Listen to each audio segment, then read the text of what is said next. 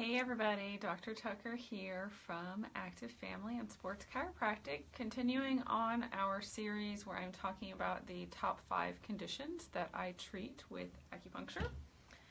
Um, last week we talked about headaches and I demonstrated some of the self-care points that you can do at home, which are also points that we needle here in the office when people are coming in with headaches or migraines. But those are some of those pressure points that are good for you to stimulate on your own. So in case you didn't catch that video, go back um, and look last week for the acupuncture series video on headaches. So today I'm talking about um, the number two thing that I see most often are neurological disorders. So this is sort of a big um, component or a big category of things to think about as far as what acupuncture can help with. Um, so I'm going to break down a few of those and talk about a few cases that I have seen over the years. So, um, what are neurological disorders? So, these could be something as serious as an actual disorder or disease that's happening where something's actually happening to the nerves themselves, they're starting to break down. Or this could be as simple as someone is having nerve pain because of inflammation or impingement somewhere along the nervous system.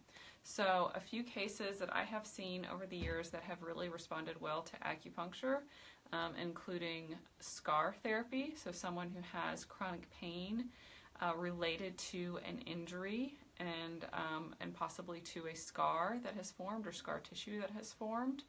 Um, I've had a case before where someone's experiencing pain for over a decade um, in a scar and it was debilitating. I mean, bothering them, you know, on an everyday basis, and even exacerbating to the level of having to miss work frequently. Um, and within less than like five or six sessions of acupuncture, um, all the pain had been eliminated and had increased function. So that's one thing. Uh, we think about chronic pain. Chronic pain comes from a multitude of different factors, but a lot of time it does originate in the soft tissues. So what is acupuncture doing? Whenever the needle goes in. The way I like to explain it to patients when they're experiencing nerve pain or a nerve condition is there are a little tiny um, sensors within your skin over your entire body. Um, and so whenever you are stimulating those little sensors, what you're doing is essentially sending a signal back up to your brain. And what we're trying to do is essentially override the pain signals that your brain has been used to receiving. So when we use the acupuncture needle, and I'm going to show you one, once again, of course, hard to see because they're so small. There you go, got a little shiny part there.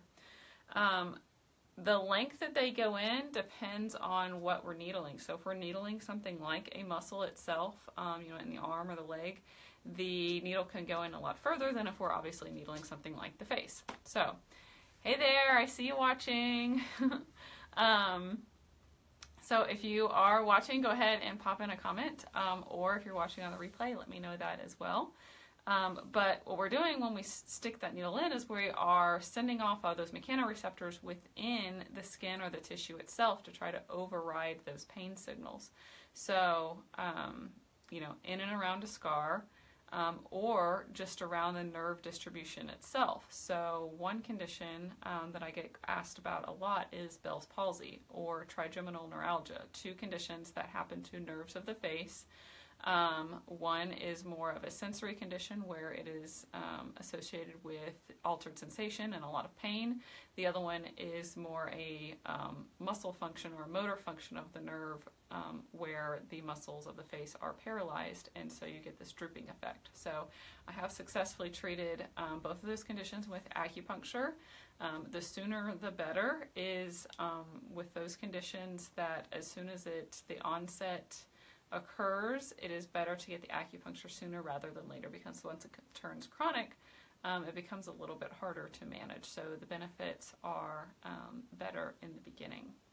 Um, a couple other neurological conditions that I have seen over the years. Um, I've had a few cases of um, a condition where the sympathetic nervous system is ramped up too high, and this can happen after an injury or after a surgery.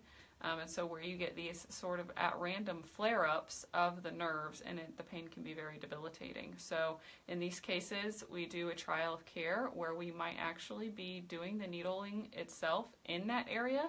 Sometimes we have to go to the opposite area because that area is too sensitive. So we may go to the opposite side, say if the pain is in knee, and we can't needle that side, we'll needle the other leg or the other knee just to send those signals back up to the brain.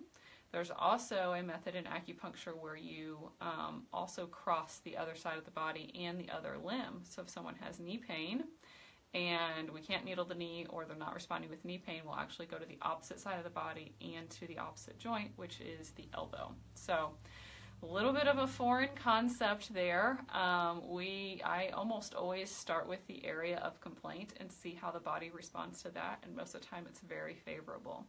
Um, in acupuncture, there also exists uh, what are called microsystems. So you see on the charts behind me, there's a microsystem in the hand. It's also a microsystem in the ear.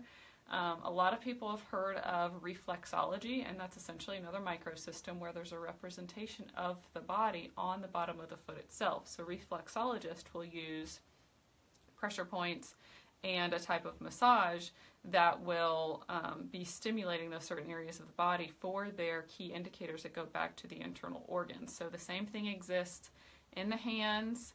Um, there's different points on the hands for the immune system, um, just for different areas of the body. The different joints in the fingers can correlate to different joints in the body, and so we can use those um, to help impact arthritis type pain um, or just arthritis pain itself within the hands responds very well um, to acupuncture.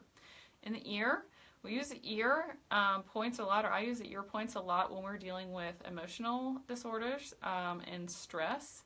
Um, because obviously stress can impact your emotions a lot. there's also protocols for addiction there. So uh, whether it's addiction to food or sugar um, or to a certain chemical dependency or even tobacco. There are protocols and points um, in the auriculotherapy system to help to treat those. So um, I hope this answered your questions. Um, as far as self care for some of these conditions, I always advocate that people um, try to stimulate these acupuncture points um, within those systems, even on their own, even if they don't have access necessarily to needling or that sort of thing. So, especially in the ear, um, and I recommend this for kids. A good relaxation technique is actually just rubbing the ear itself all over the ear, no point in particular. Um, but a lot of people just don't touch their ears, you know, usually throughout the day, and especially kids. Um, you know, their ears just aren't really stimulated, and there's just a lot of sensory input um, besides hearing, the special sense of hearing that goes on in the ear. So I um, encourage people to, um, you know, vigorously sort of massage the ears and just try to wake wake everything up. And this can be done preventatively. It can be done in the morning. It can be done before bed as a relaxation technique, um, or just in times of stress um, to help kind of reset your body and um, you know, kind of get your mind off of whatever it is that the stressful situation is. Um, also, when we're talking about scars, chronic nerve pain, that sort of thing, you know, doing some self massage, So you had a scar here in your hand or somewhere on your leg, doing some self massage as tolerated around that scar can help to mobilize the tissue and, and encourage lymph flow. Um, and I think overall it's just really important to, if you're having an area of pain, to get it checked out because chances are, um, you know, your body's trying to send you a signal. Pain is a signal, it is not a normal occurrence.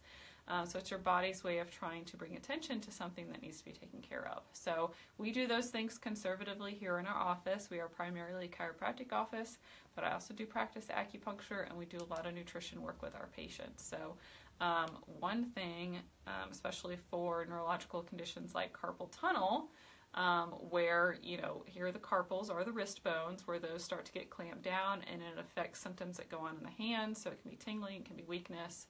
Um, a lot of times this is an ergonomical thing. So it happens um, from, you know, people who sit at a desk for a long period of time or possibly their wrists are, you know, brought back and stretched for a long period of time. And so there's just an imbalance in the tissues muscles of the forearms, etc. So acupuncture can help with that, but chiropractic, ergonomic um, considerations are typically what we do for those as well. Splinting can also help. Um, but along those lines, supplements can also help too. So, B vitamins are very good for nerve health as well as essential fatty acids because your nerves are protected um, in a layer of fat. And so, those nerve transmissions um, go a lot